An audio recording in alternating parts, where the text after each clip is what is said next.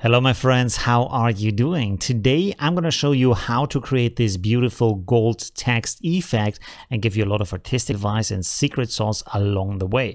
My name is Olivio, I'm a professional designer and I want to thank all of my patrons who support me and make these videos possible. Let's get started. So here's already the first artistic advice. When you choose a font to use with the effect, look for a font that is wide enough or fat enough so you can actually see the texture. So maybe a fat font or look for a specifically a bold font and also look for a font that has a design that supports the texture you want to apply to it to make the texture feel more realistic. In this case, I chose a font that's called Tahu. It is free to use. I've linked it below the video with the other resources. So how do we create the effect? First of all, what we need here is a rectangle in the background to give us a black background like this. So you can see down here we have our rectangle tool and then simply drag out the rectangle, set the fill color to black.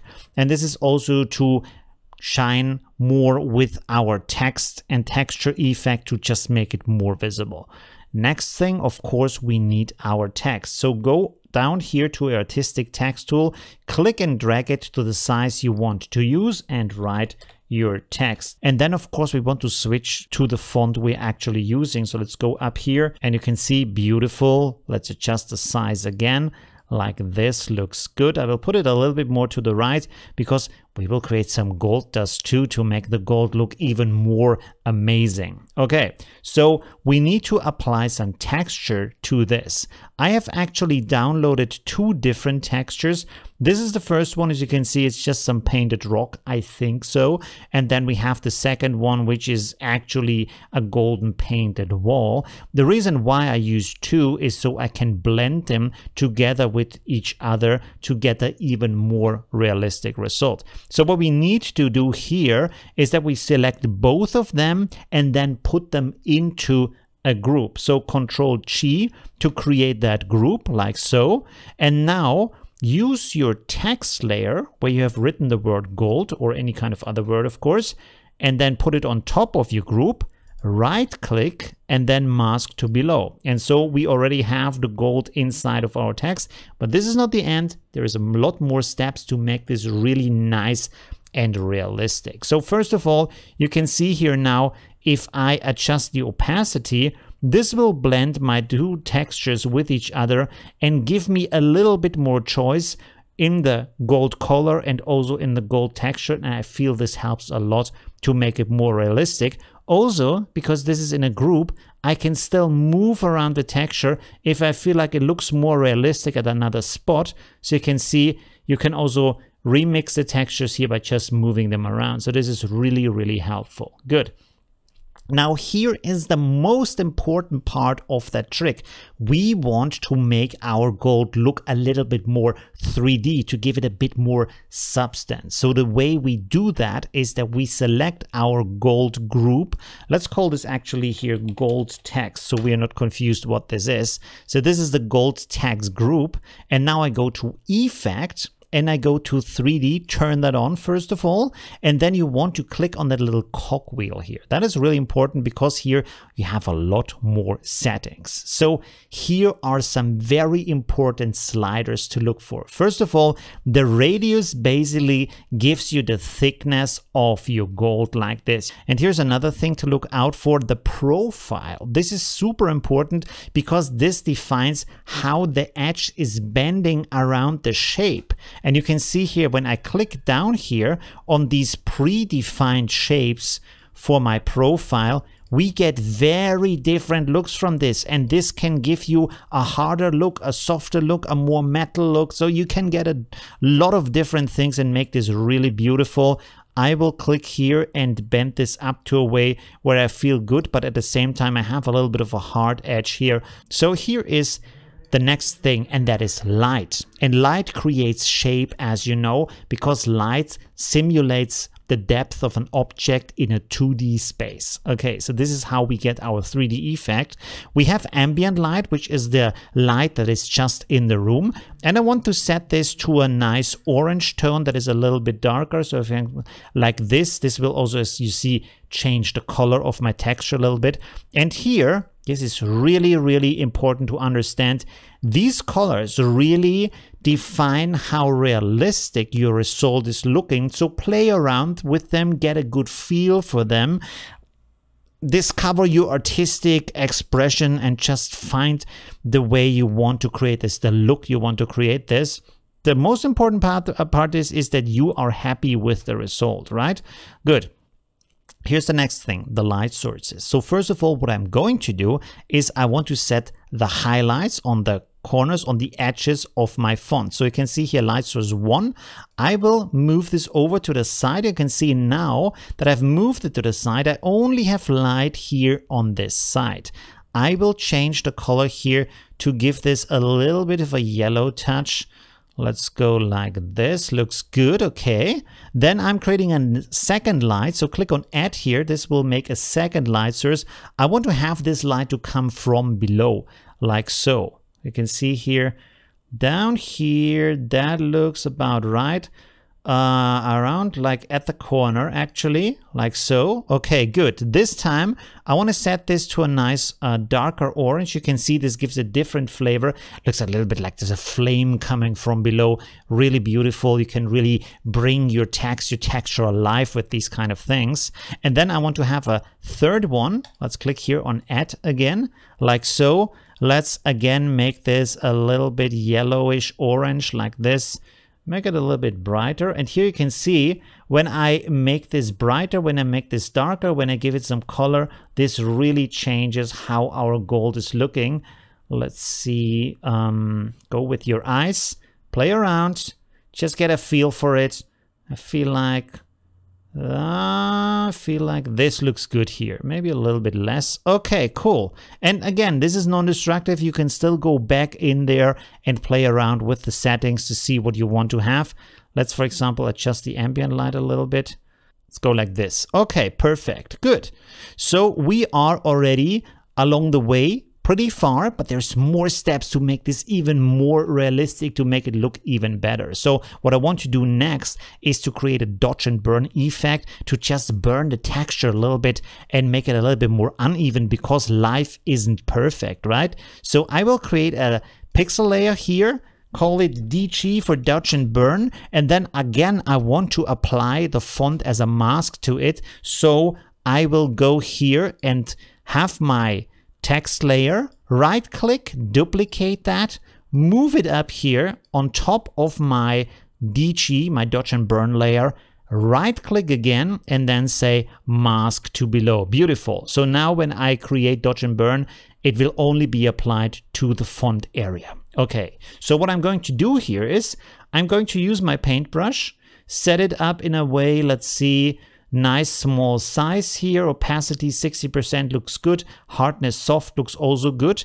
And what we need to do here, this is really important, set our dodge and burn layer to soft light, like so, soft light as a blend mode, and then open this up. And everything that's below 50% here from the grayness will make it darker and everything that is above 50% of grayness, like up here, this will make it brighter. But we only want to make it darker. And you can see here, I will paint on different areas here just to make the look of the gold a little bit uneven, make it a little bit more orange, make it a little bit darker in certain areas, and then leave it brighter at, in other areas. And this just gives it a bit more realism and just makes it very beautiful, like so. Like I said, life isn't perfect. The world isn't perfect. So these little imperfections, these little differences in how things look just give a better touch to it and bring it actually to life. So look at that. When I turn it off, it looks like that. It's good, but it's artificial. And then we have the imperfections and now it looks a lot better. And here comes the magic. What I want to do is to have some gold dust behind my text. So here's the sand, boom, yeah, we are poor, we only can afford, afford desert sand, but no worries about that. We will simply recolor it. So with our sand layer, Control G again to create a group like this and then simply create a recolor adjustment in here like this. You can see recolors it. Of course, we don't want to have red sand. We want to have yellow sand like this. Just give it a color that feels nice. And we're going to use this dust here on the side anyways. So let's go a little bit like this. I don't want it to be too strong, just a little bit. Also very nice and bright. This looks good. Okay, so how are we going to make this into nice realistic dust and where to put it? I will make this a little bit smaller here, like so, because I want to have it, for example, up here. And then I will right click and rasterize. As you can see, this is image right now. I don't want to have that. Rasterize that Really nice. Also set the blend mode to lighten like this. I will show you in a second why I need that. And then I go in here, use my erase brush. Um, I want to have higher hardness, opacity 100 like this. The size is okay. And then I will simply delete everything I don't need. So now we have some gold dust up here. Here comes in why I need the lighten blend mode. I will hold control, click and drag this to the side and you can see now I have a copy and the copy is beautifully blending with the other gold dust I have in here. So I can just move it anywhere and don't be worried about the black that we had in the original background of our gold dust, right? So let's move this down here. I will simply leave it like this and then make another copy and maybe move it down here to have the effect on this side of the D. Very nice, beautiful. Okay, so now we need to animate this a little bit. Not animate in the sense of motion, animate like blowing a little bit of wind into our sand. So here is the secret sauce on how to do that. Select your layer, zoom in a little bit and then use your mesh warp tool and then simply double click on an area you want to bend, you want to adjust. And you can see here now, I move this down a little bit, I move this over a little bit.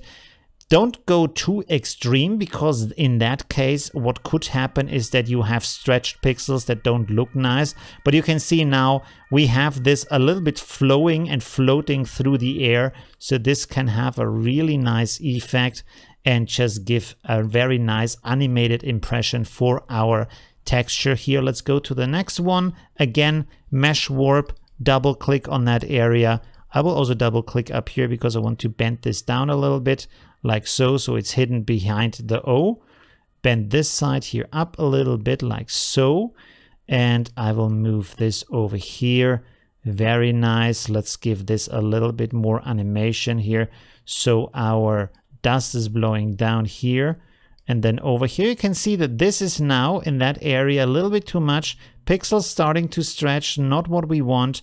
So let's move this a little bit back because that was a little bit too much. But this looks nice. And here we have our last part.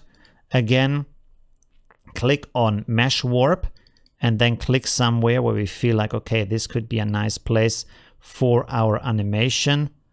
Let's move it like this. Very nice.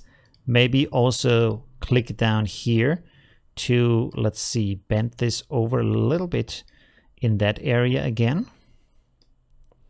Let's see, that looks good. Very nice, very nice flow over here.